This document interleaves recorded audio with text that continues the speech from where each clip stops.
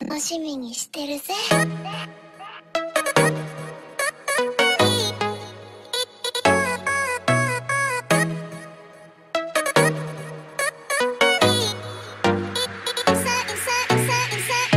I'm looking for someone to hold, someone to care,